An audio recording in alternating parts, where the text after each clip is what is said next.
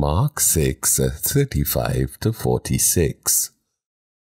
And when it grew late, his disciples came to him and said, This is a desolate place, and the hour is now late. Send them away to go into the surrounding countryside and villages and buy themselves something to eat.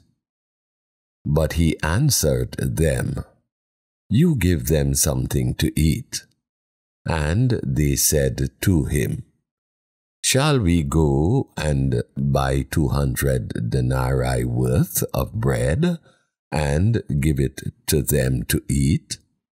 And he said to them, How many loaves do you have? Go and see. And when they had found out, they said, Five and two fish. Then he commanded them all to sit down in groups on the green grass. So they sat down in groups by hundreds and by fifties. And taking the five loaves and the two fish, he looked up to heaven and said a blessing, and broke the loaves and gave them to the disciples to set before the people. And he divided the two fish among them all. And they all ate and were satisfied. And they took up twelve baskets full of broken pieces and of the fish and those who ate the loaves were five thousand men. Immediately he made his disciples get into the boat and go before him to the other side, to Bethsaida, while he dismissed the crowd. And after he had taken leave of them, he went up on the mountain to pray. Of all our Lord Jesus Christ's miracles, none is so frequently described in the Gospels as that which we have now read. Each of the four evangelists was inspired to record it. It is evident that it demands a more than ordinary attention from every reader of God's Word. Let us observe for one thing in this passage what an example this miracle affords of our Lord Jesus Christ's almighty power. We are told that he fed 5,000 men with five loaves and two fish. We are distinctly told that this multitude had nothing to eat we are no less distinctly told that the whole provision for their sustenance consisted of only five loaves and two fish. And yet we read that our Lord took these loaves and fish, blessed, broke, and gave them to his disciples to set before the people. And the conclusion of the narrative tells us that they ate and were filled, and that twelve baskets full of fragments were taken up. Here was creative power beyond all question. Something real, solid, substantial must manifestly have been called into being, which did not before exist there is no room left for the theory that the people were under the influence of an optical delusion or a heated imagination. 5,000 hungry people would never have been satisfied if they had not received into their mouths material bread. Twelve baskets full of fragments would never have been taken up if the five loaves had not been miraculously multiplied. In short, it is plain that the hand of him who made the world out of nothing was present on this occasion. None but he who at first created all things and sent down manna in the desert could thus have spread a table in the wilderness. It becomes all true Christians to store up facts like these in their minds and to remember them in time of need.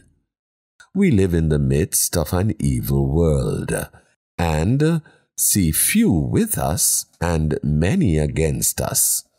We carry within us a weak heart, too ready at any moment to turn aside from the right way. We have near us at every moment a busy devil, watching continually for our halting and seeking to lead us into temptation. Where shall we turn for comfort? What shall keep faith alive and preserve us from sinking in despair, there is only one answer. We must look to Jesus. We must think on His almighty power and His wonders of old time. We must call to mind how He can create food for His people out of nothing and supply the needs of those who follow Him even in the wilderness. And as we think these thoughts, we must remember that this Jesus still lives, never changes, and is on our side.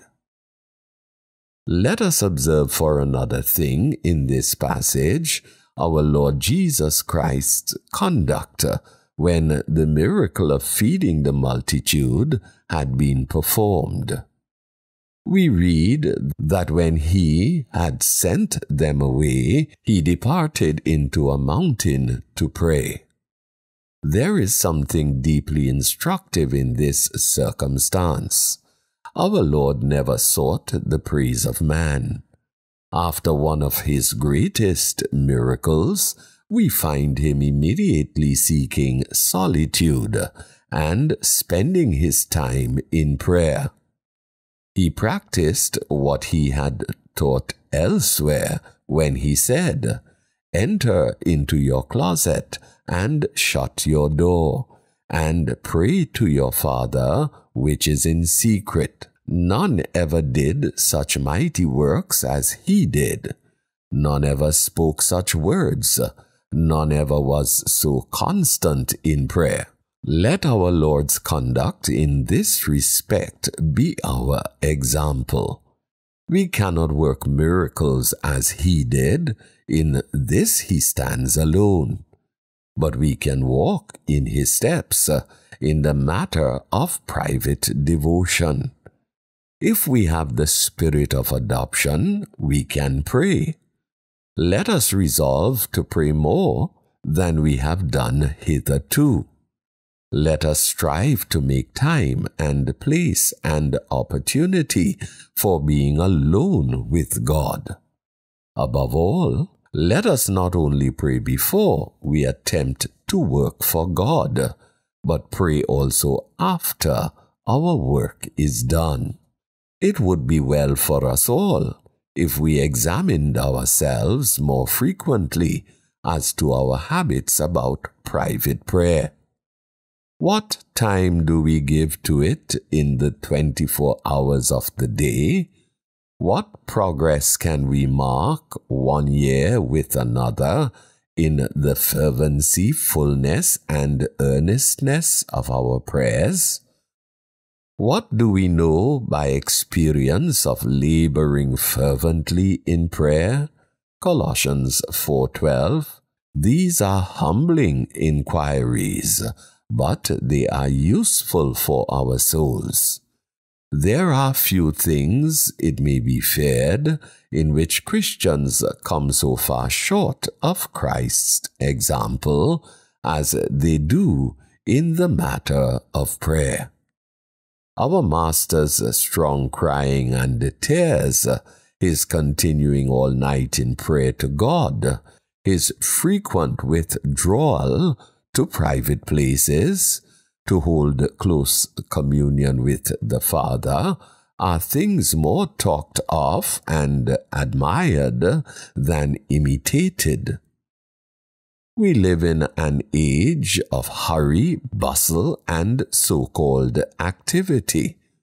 Men are tempted continually to cut short their private devotions and abridge their prayers.